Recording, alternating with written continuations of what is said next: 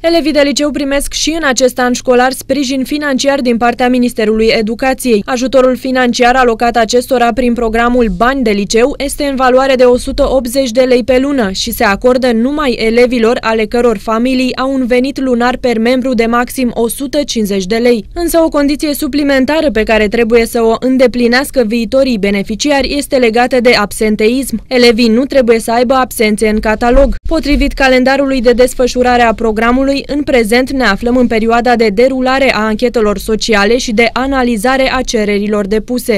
În perioada 1 octombrie-23 octombrie se desfășoară anchetele sociale și evaluarea de către comisiile din școli a eligibilității cererilor depuse.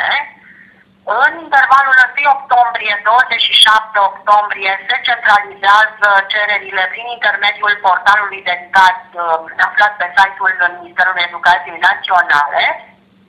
Și uh, în data de 28 octombrie se va afișa uh, pe internet uh, lista uh, beneficiarilor. Dacă printre cei care au depus dosare pentru obținerea acestor bani sunt și nemulțumiți, aceștia au posibilitatea de a depune o contestație în intervalul 28 octombrie-2 noiembrie, rezolvarea contestațiilor fiind programată pentru perioada 2-6 noiembrie. Pe parcursul anului școlar anterior, 1500 de elevi de liceu Giurgiu Veni au beneficiat de acest program de sprijin financiar.